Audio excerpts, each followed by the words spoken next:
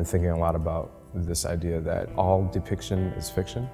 Every time we reproduce something, we alter it slightly, even in our just conception of that thing, we, we alter it. That began to happen really early on in my project as I started to think about the fact that as a painter, everything that I do traditionally is illusion. There's no person there, there's no space there. This is a flat canvas. Mixing those facts and those fictions, also mixing illusion and physical disruption of the, the canvas itself. I think it's a real challenge to understand what is happening in the paintings because sometimes you're looking at things and you don't know whether it's, it's um, the illusion of paint on canvas or if it's actually folded canvas. The Jerome Project um, started uh, a long time ago.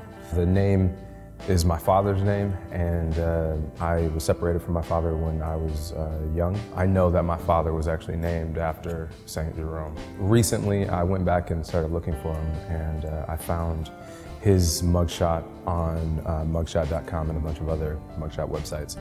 And I found about 99 other men with the exact same name, first and last. And most of them were black men, and I just found that whole situation sort of shocking and uh, just wonder how is it that, um, that this name in some way has some ability to sort of predict this circumstance. I had made paintings, I had made drawings, I had been thinking about these issues quite a bit, and then Ferguson happened. I was struck by how the, the symbol of this continued reinvigorated civil rights movement um, is this open hand, these two open hands up. And that's very interesting to me in contrast to um, the Black Power movement, which was symbolized by a closed black fist.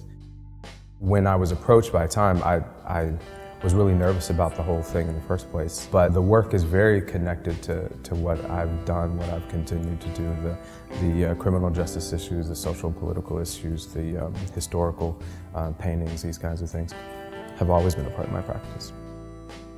Anytime something exists in media, it's almost a kind of permission to forget it now. Like, okay, I saw that, turn the channel, I'll see this other thing.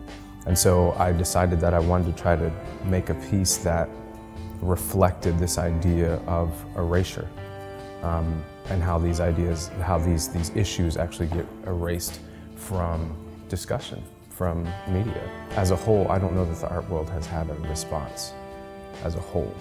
Um, I've seen individual citizens respond to the situation, and that has been encouraging. That has been extremely encouraging. In terms of the art world's response, that's not really something I'm looking at. This is way bigger than that. This is way bigger than that, and I think uh, the response needs to be bigger than that.